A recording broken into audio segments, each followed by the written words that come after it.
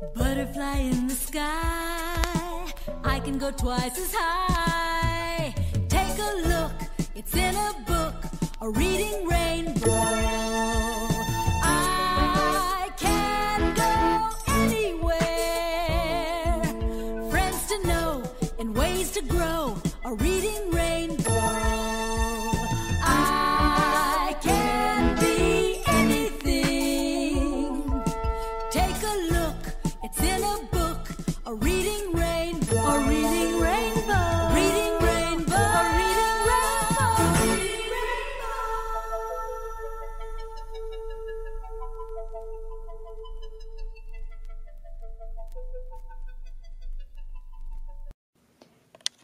What do you do with an idea? Written by Kobi Yamada and illustrated by Mae Besom. What do you do with an idea? One day, I had an idea. Where did it come from? Why is it here? I wondered. What do you do with an idea? At first, I didn't think much of it. It seemed kind of strange and fragile. I didn't know what to do with it, so I just walked away from it. I acted like it didn't belong to me. But it followed me. I worried what others would think. What would people say about my idea? I kept it to myself. I hid it away and didn't talk about it. I tried to act like everything was the same as it was before my idea showed up. But there was something magical about my idea. I had to admit, I felt better and happier when it was around.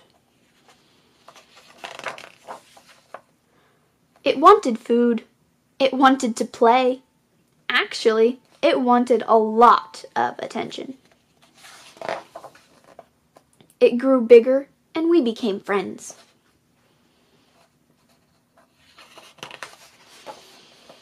I showed it to other people, even though I was afraid of what they would say. I was afraid that if people saw it, they would laugh at it. I was afraid they would think it was silly. And many of them did. They said it was no good. They said that it was too weird. They said it was a waste of time and that it would never become anything. And at first, I believed them. I actually thought about giving up on my idea. I almost listened to them. But then I realized what do they really know? This is my idea, I thought. No one knows it like I do. And it's okay if it's different and weird and maybe a little crazy. I decided to protect it, to care for it. I fed it good food. I worked with it. I played with it. But most of all, I gave it my attention. My idea grew and grew, and so did my love for it. I built it a new house, one with an open roof where it could look up at the stars, a place where it would be safe to dream. I liked being with my idea. It made me feel more alive, like I could do anything. It encouraged me to think big, and then to think bigger. It shared its secret with me. It showed me how to walk on my hands. Because, it said, it's good to have the ability to see things differently. I couldn't imagine my life without it. Then, one day, something amazing happened.